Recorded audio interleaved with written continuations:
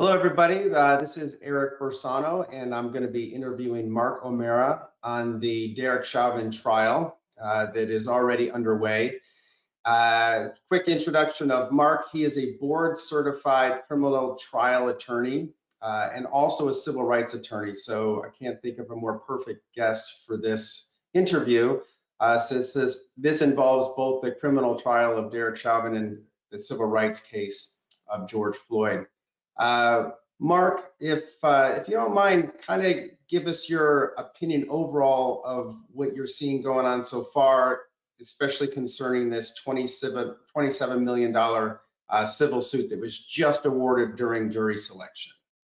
Well, it's interesting because this, like many other high profile cases, you know, there's always going to be some glitches along the way, but they're glitches that the trial attorneys and more importantly, the trial judge are going to try real hard to minimize. You know, you want you don't want problems with the air conditioning, right? You don't want problems with the lights. You don't want those things that you can control. You need to because you know everyone, in this case, the entire nation, the entire world is going to be looking at this case to see what we are going to do with these facts, with this video. So with that as a backdrop, now we have to look at those issues that you would never think would come up. I'll give you the example. One of them is that the judge throws out the third degree murder charge, believing that under that state's law, that um, Chauvin would have had to do something to more than one person. That was sort of an interpretation of the law. Then the appellate court comes back and says, no, no, no, we look at this other case where it was a third degree murder conviction against a cop, coincidentally, for an event against one person. So now that third degree murder charge can stand in the Chauvin case. But that doesn't happen until jury selection has already begun. Defense counsel comes up and says, hold on a second, don't, don't be too fast about this. We may take this to the Supreme Court, who may say once again the third degree murder charge does not apply. So now you've got this entire complication of a case that jury selection has already begun and literally the jurors don't necessarily know what charges they are to consider. Now, in that part of it, okay, that can sort of be fixed. You go back in and tell the jurors that you've already spoken to, by the way, there's this other case, there's this other charge. Uh, and, and that's somewhat fixable, although again, a glitch you know the trial judge which wishes that he didn't have to deal with. Great. So we sort of wild our way through that and continue with jury selection. And then lo and behold, in you know a couple of days later, three days later, you have the announcement of a $27 million civil settlement in favor of the Floyd family. Uh, again, nothing that this trial judge would ever have wanted to have dealt with because they, we, are trying so hard to do what is supposed to happen in any criminal case, which is only decided on the facts and the law that you get in the courtroom. We all know that there may be evidence out there that we have heard about as members of the public, but we'll never get into a courtroom because it's hearsay or it's not well founded or it's not relevant uh, to the issues at hand. And yet now this judge has to go back into those very jurors, now seven of them that were selected up until yesterday or maybe this morning.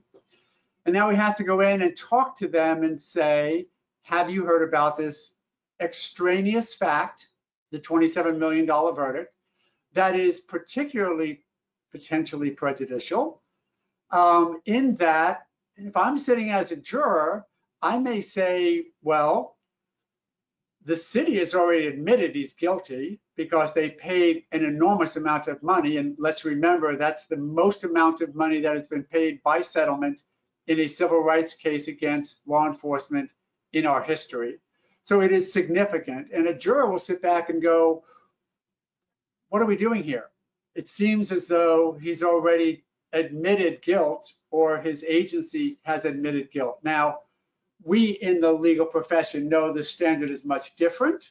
Mm-hmm. Um, and, and a settlement uh, on a civil case really doesn't have a lot of impact or shouldn't have a lot of impact on a criminal case, completely different standards, and quite honestly, different factors that are to be considered.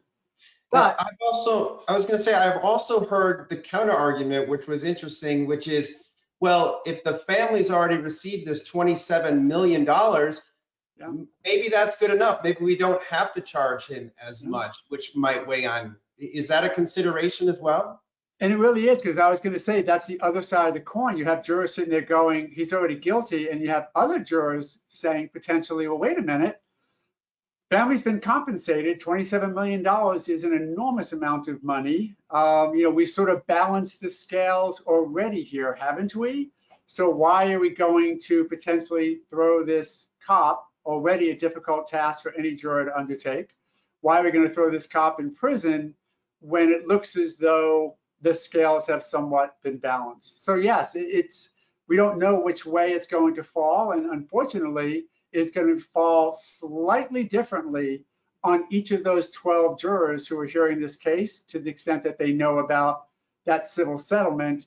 And again, one of those variables, one of those extraneous facts that we as criminal defense attorneys don't want to deal with and the trial judge doesn't want to either.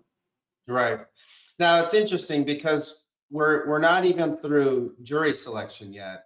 And there's already been two, what I think would be considered major issues that aren't normal. One of them is the third degree was out by the judge, now it's back in. Now you've got this $27 million uh, settlement.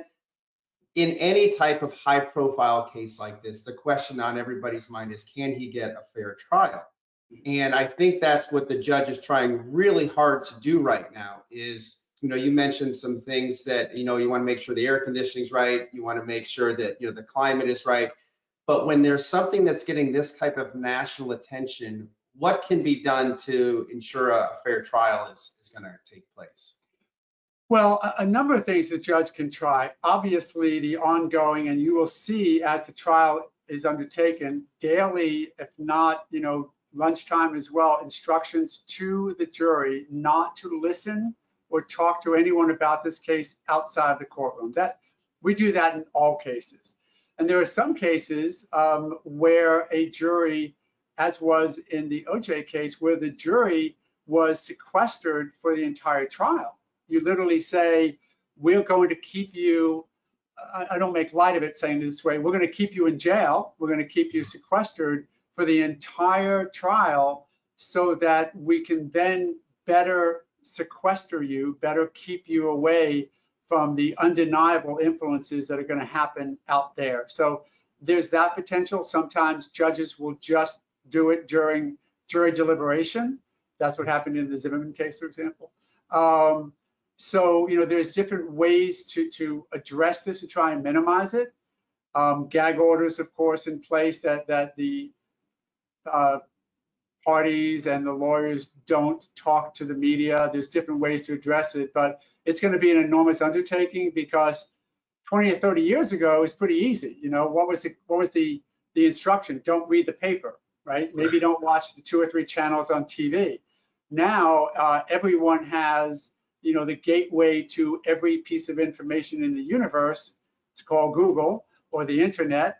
Uh, and it's almost impossible because we have now become default animals to look at our phone and to see what's going on in the world. And that's going to be a difficult task for this judge. Yeah, it, it, it's interesting because information is is literally at the at the tip of our fingers uh, at any time that we want it. Uh, this has obviously taken on uh, a completely different life. I mean, there's been protests. Uh, people are voicing themselves on Twitter. It's almost impossible to say that you haven't been influenced one way uh, or to say that you haven't seen information about this. So one of the things that the defense, I think, is asking for is a change of venue, which I understand why, but would that even be an advantage to the defense considering how ubiquitous this, this case has become?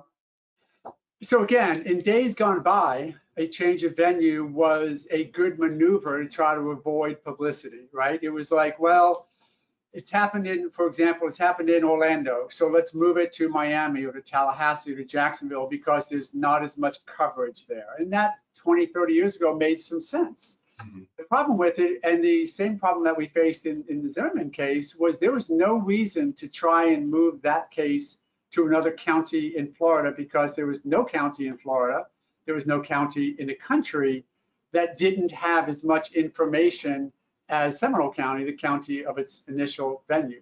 And the same thing, quite honestly, in this case. I, I don't believe that the defense actually has as a premise that they will get an unbiased panel in some other county.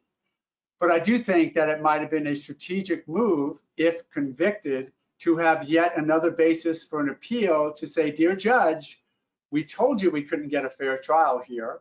We told the, the trial judge that. They, they, made us stay.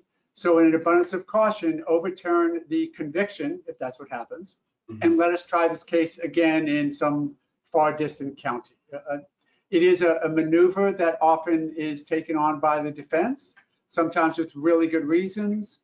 Um, but in today's day and age, with a high profile case, and this is one of the highest, you're not going to get anywhere where someone doesn't know about this case. And quite honestly, you don't want those people on your jury if you found people who didn't know about this case. Right. So the other interesting piece in this is there were three other officers involved. So, you know, Derek was obviously the person who was, uh, had the knee on the back of George Floyd's neck. Then you had three other officers that are all look like they're going to be charged um, in, in some way or another. Is it an advantage for the Chauvin trial to go uh, through first? Or if, if you were the defense attorney, what would you think? Well, it, it's really, it's one of those double-edged swords. Um, I, if I was representing one of the other officers, I would be very happy that Chauvin case is going first, particularly if he's convicted. Because if he's convicted, then I, on behalf of my secondary defendant, the, oth- one of the other officers would say, look, he's the one who did it.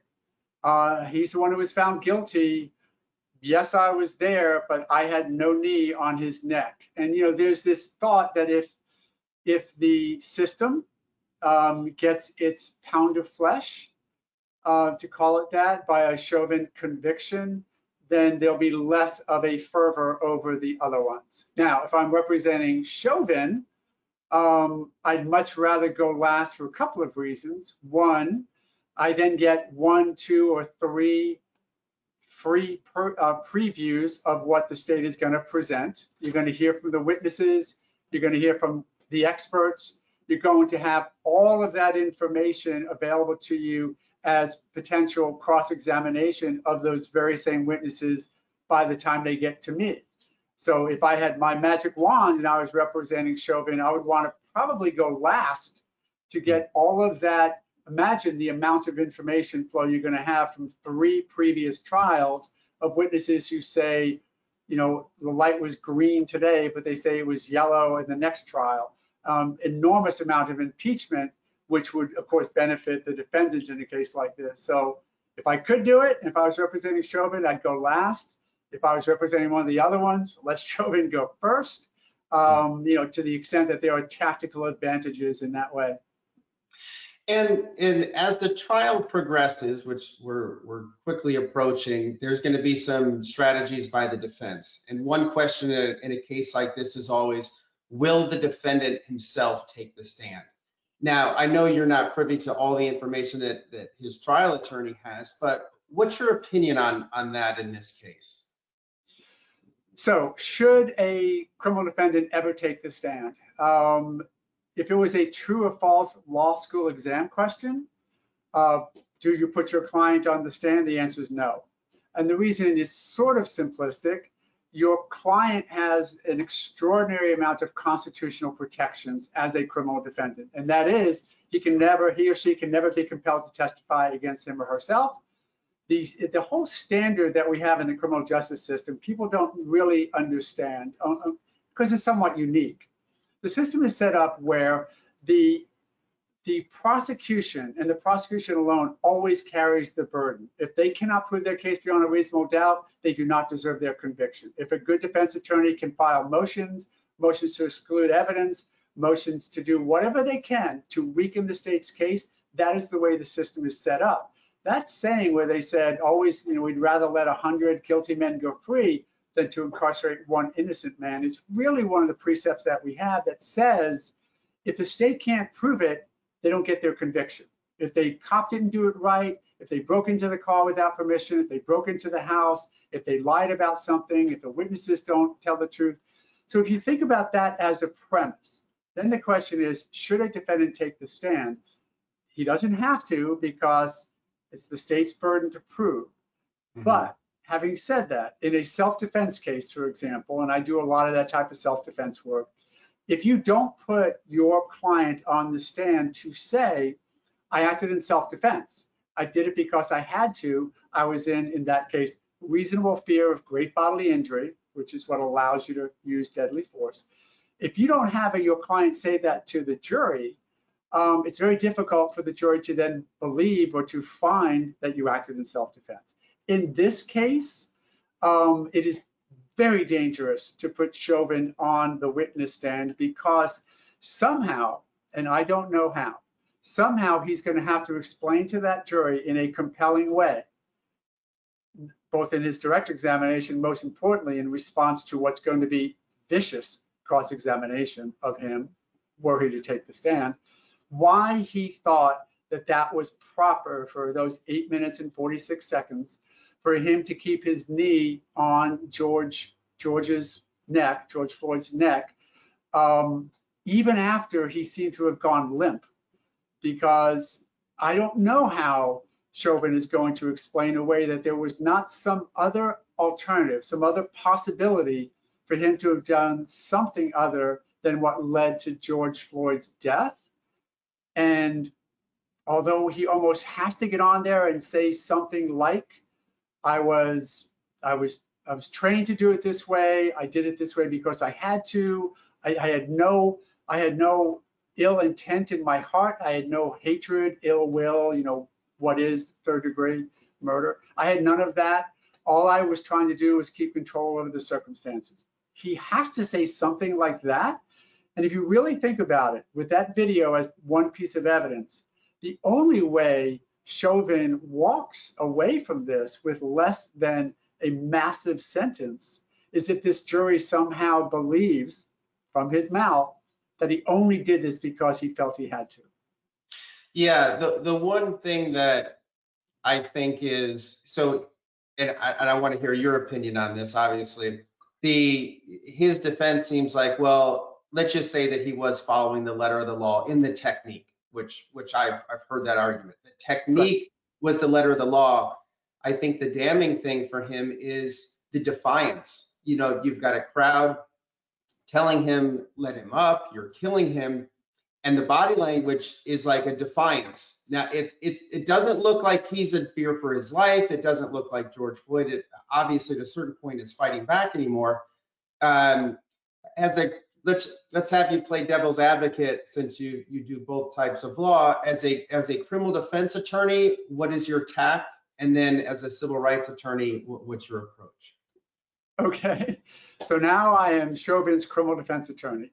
yes Um, yes, he was doing exactly what he was trained to do. He was te- keeping control of a set of circumstances that he knew he did not have much control over. He had a crowd gathering around him. He had somebody who was acting weird in his opinion. We know that there was some toxicology that suggested that George Floyd may have been on some drugs. He will use that in, in his presentation of the bizarre way that Floyd was refusing to calm down, refusing to listen to his commands, do whatever.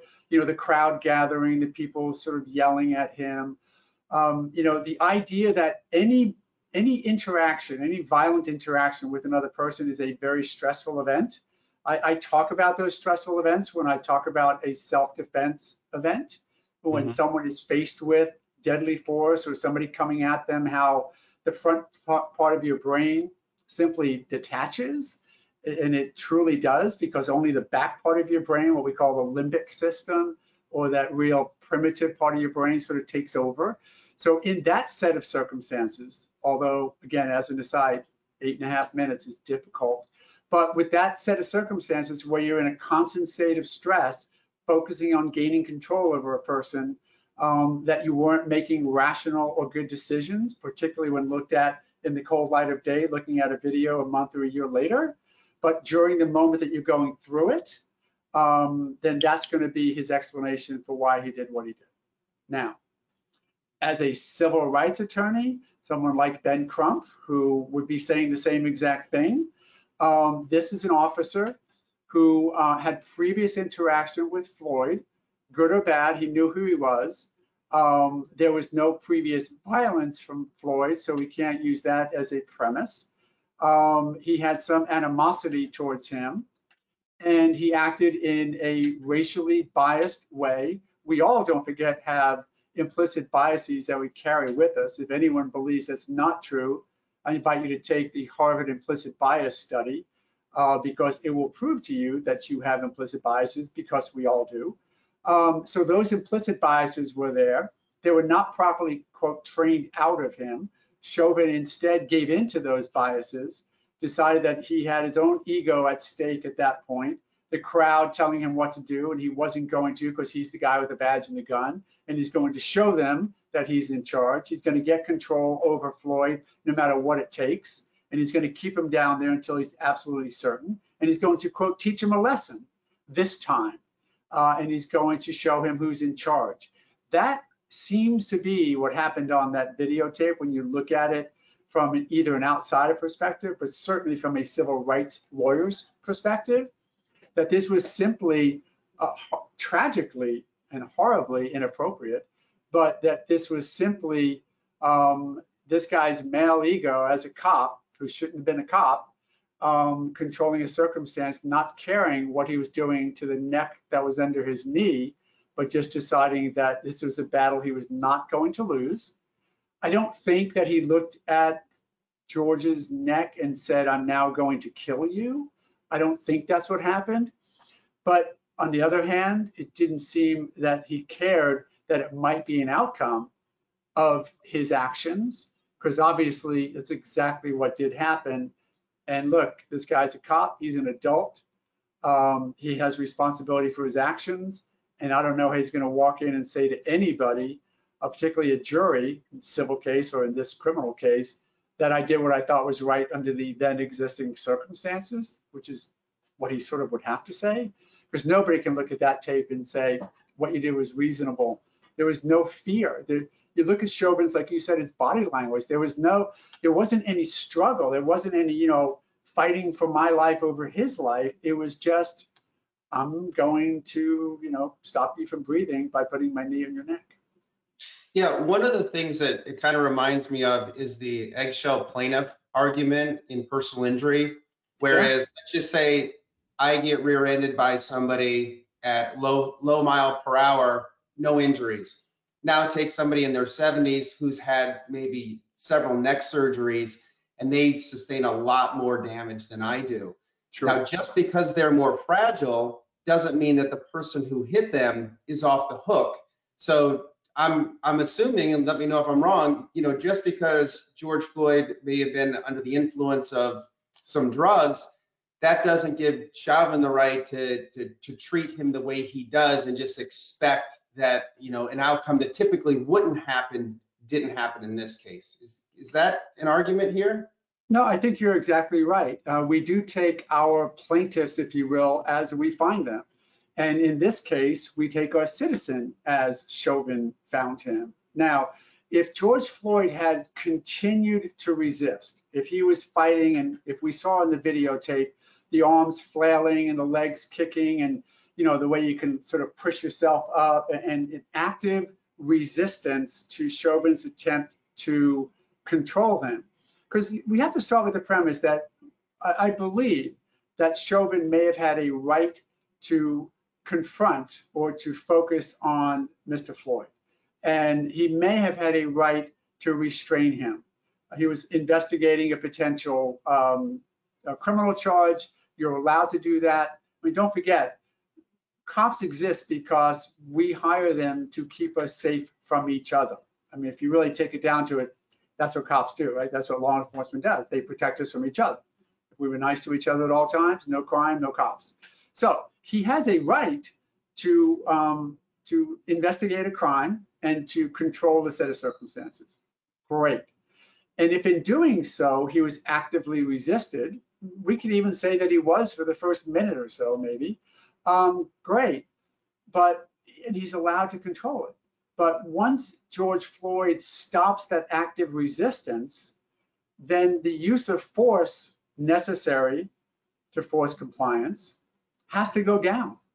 And unfortunately, in Chauvin's case, it just, it seems, uh, and again, not to prejudge the case, that's what the jury is for, but it seems as though Chauvin never let up on what we know to be a potentially dangerous maneuver, even when George Floyd stopped resisting. He didn't seem to be resisting much, but at some point you can see not only a, a, a cessation or him stopping resisting, but he actually went unconscious. Mhm. At that point, my God, I'm not sure how Chauvin would say, well, I, I thought maybe he was faking being unconscious until I would, I don't know what he's going to say, but if I was the prosecutor cross-examining Chauvin on that, I would spend more time than, than he, he had his knee on his neck. I would spend on just the moment that it was obvious to everybody else looking at George Floyd that he was not any longer conscious as to why Chauvin didn't change his restraint maneuver. Right. Now, I know we're, we're only partially through jury selection, uh, so we haven't even started the case. We, we, we only know what we know through the media and, and video that we've seen. Uh, do you have any predictions of, of how things are going to go? Or, um, you know, do you foresee any other of these bombshells that get dropped by either the defense or the, the state? Well, um, you, you never know about the bombshells. I mean, I don't think that anything, there's not going to be a Perry Mason moment in a, in a trial like this. I think, you know, both sides are very well prepared. They know what's coming in. They know for the most part what's being kept out. So I don't see somebody running in from the back of the courtroom. But, you know, having said that, Eric, I'm, going to tell just if I might a 30 second war story to answer your question. I represented um, uh, Sam DuBose was a guy up in Cincinnati who was shot by a University of Cincinnati police officer. Um, a black guy, and the University of Cincinnati police officer was a white guy, shot him for a traffic stop. Um, I invite you to look at the video, make your own determination, but it just, it was a completely uh, unnecessary shooting. Uh, it, literally, the worst that, that my client, uh, Mr. DuBose, may have been doing was moving away from a traffic stop. He already knew who he was, he had his license, whatever. Um, and they and the officer, Tensing, shot him on body camera. And you see the car drive off because now my guy at that point had had his head blown off and was dead already. And then you hear Tensing, the officer, sort of make up this defense of why he shot him. Well, he was trying to run me over and he did this and he's on the radio. Look at the video. And the reason why I say that is because they actually charged that officer with Sam's murder and they tried him in front of a jury for that and the jury hung. They could not convict him.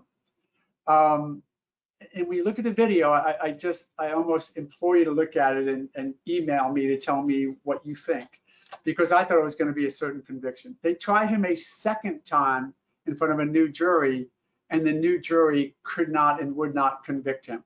They finally let him go. They didn't try him a third time. So in that case, it's not as egregious a video as we have in Mr. Floyd's case um, because it didn't last as long.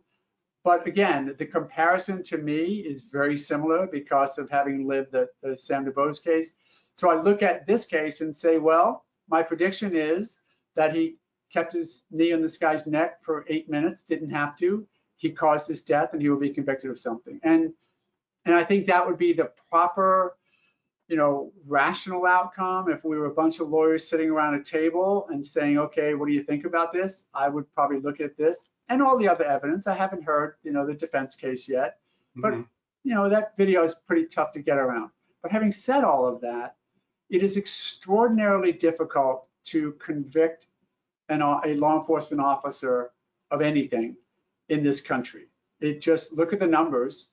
Uh, even though it is creeping up, it is still extraordinarily difficult, even under the most egregious circumstances. So I would hazard a guess on this case that there may be one, don't forget, a hung jury is one juror that doesn't say conviction, uh, that there may be one juror on that panel saying, you know, cops are here to do a job. It's a tough job we make them do. They make momentary decisions in the heat of the moment. I'm not going to send this guy to prison for doing what we don't pay him enough to do. And if he did, did what he thought he was trained to do, then it's the agency's fault for not training him right. I'm just not going to convict him. And seemingly that happened twice in the uh, case. It, it just could happen here. Yeah, and uh, I mean, in my mind, just based on everything that I've seen, I, I would agree that there's going to be some sort of uh, conviction. Any idea on second, third degree manslaughter? Yeah. he could be charged with more than one. Yeah, so here's what here's the way uh, Minnesota law works. Um, their their the way they charge it, their sort of second degree is intent. So in Florida, premeditation and it's first degree. In in Minnesota, what they say is you definitely intended to cause the death, but you had no premeditation. I don't think that any understanding of the facts of this case as I know them today is that they're going to be able to prove that Chauvin intended to cause George Floyd's death. Now, intend, of course, is a, a tough word. If I if I grab you by the throat and cut off your breathing, am I intending your death? Oh, I'll, I'll say that I intended to grab you by the throat, but I didn't intend your death. You are responsible for the natural consequences of your action, and that can lead to intent. So, could it be their second degree? Yes, it could be, but at the very least, I would see the jury not going to that level of saying Chauvin caused, intended to cause the death of George Floyd. Rather, I think the third degree murder charge in Minnesota, which says, you know, if you evidence that ill will, that hatred, that absolute lack of care for human life, in Florida we call that second degree um, murder. In Minnesota, it's third degree, and that basically says it's not that you didn't intend. The, we agree you didn't intend the murder, but you were so disrespectful. You carry such ill will and hatred towards Mr. Floyd that you are responsible for his death. And that would be a maximum of 25 years in prison. And if they come back with a conviction, um, my money would be that it would not be second degree, but it would be the third degree. More of a compromise um, is the manslaughter, which is basically I didn't intend to cause your death. I didn't do anything. I, I don't dislike or hate you. Uh, I just acted so negligently that I should be responsible for my actions, which unfortunately and unintentionally led to your death. And that's sort of manslaughter. So it's going to be manslaughter or their third degree murder if they come to a conviction. Okay.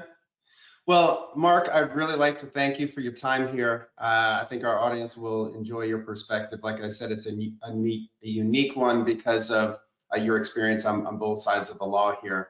So hopefully, uh, as things progress, uh, you might be able to join us again and lend your perspective uh, that I think people are, a lot of people are interested in this case and to get a professional opinion like yours, I think is very Oh, sure, no, no problem. And I really do. I, I am sort of keeping track, so I'm not kidding about anyone who wants to take a time to look at that George, I'm sorry, Sam DuBose video, D-U-B-O-S-E. Uh, I'm not looking for business, but I am inviting you to email me at mark at omaralawgroup.com. I'd love to have your opinion on it. Uh, one of my most frustrating cases to watch that officer not be held accountable, but I, I may have, well, we all get trial hypnosis, right? I, I look at the video through my own eyes. I'd love to know other people's opinion concerning it. But other than that, whenever I can help or any other questions come up, Eric, you know, it's great to talk to you about these things. So look forward to seeing where the Chauvin case takes us. so do I. Thanks am- again. I I will just, I'm sorry, I will just end by, by a, a frustration point that I have because I do a lot of civil rights work. It's going to be very, I don't know how the black community will deal with a non-conviction in a case like this. I mean, they had a tough time with several of them, including the Zimmerman acquittal and some that have happened since. But this Chauvin case seems to be, you know, in Zimmerman, we had argument, we didn't have a video. In a case with a video, which just shows the death of a black man at the knee of a white police officer, if they don't get a conviction here, I don't know how the black community goes past this. I don't know how they maintain the faith we're asking all people, including the black community, to have in this system, still the best in the country, but with its own concerns. I don't know how they maintain faith in it if uh, if Chauvin walks on this one.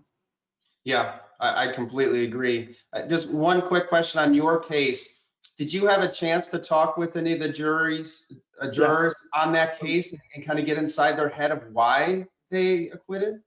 Uh, yeah, um, and it, very interesting because you know we had six women in Florida. It's only six for a non-capital case, a non-first degree. So we had six women, um, and I talked to I think four four of them. Uh, they were very willing to reach out to us and talk to us, and um, they their thought was that it was pretty obvious to them, and there was one holdout juror for reasons not necessarily connected as well to true legal guilt, but there was one juror who just had a problem um, with the whole case.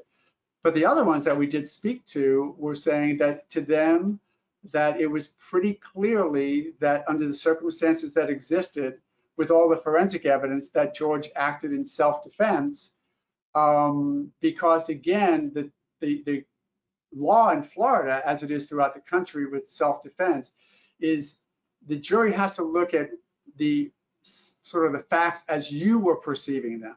So in that case, as George was perceiving the facts, did he believe that he was in reasonable fear of great bodily injury? And the fact that um, he had a broken nose, the fact that, that his head was being hit on the concrete several times, uh, and the fact that it was undisputable that Trayvon Martin was on top of George when the shot was fired. We sort of know that because the the shirt had the bullet through it and then it hit Trayvon's chest. So there was an obvious gap. Mm-hmm. Um, those three facts, I think, were most compelling to the jury that George acted in self-defense. And that's what they sort of focused on when coming up with the acquittal. Right. Well, I'll tell you, we will post uh, this video along with uh, the other video uh, that you mentioned uh, where the cop so that people can see both. I'm sure after they hear this, they're going to want to see that as a reference. Oh, I appreciate that. So uh, thank you again, Mark. Uh, okay, have a good day, and we'll hopefully be talking to you soon. I have a feeling we'll be talking soon about the next couple of maneuvers in the Chauvin case. So be well, and everyone stay safe. All right. Thank you. Take Bye. care.